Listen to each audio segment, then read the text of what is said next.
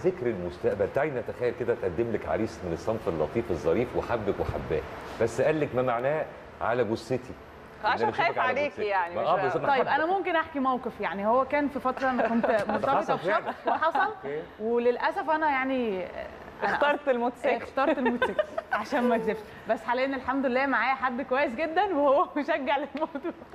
ضحكت لي جوه. قال لك اخترت الموتوسيكل يعني يعني العريس هو أنا اخترت والله العظيم أصلا التفاهه في- في المقارنة تخليك. بجد ما تختاروش آه يعني يعني المشكلة إن لو حد بيحبك هيشجعك على صح، الحاجة اللي أنت صح. بتحبها. مليون في هيبقى من المية اول الداعمين خايف ليك. عليكي منها وبنجربها. آه آه لا. آه، أنا مامتي ما فيش حد هيخاف عليك في الدنيا قد مامتك أكيد. واهلك آه طبعا أكيد. فأنا عملت حادثة من قريب.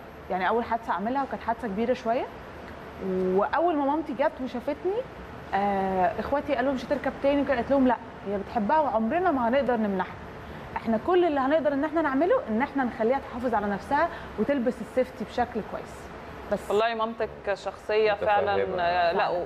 محترمه. فعلا بتفكر صح فعلا لكن أصل أنت حتى لو منعوكي هتروحي تعملي آه ده دي. حقيقة فيعني نقطة كويسة قوي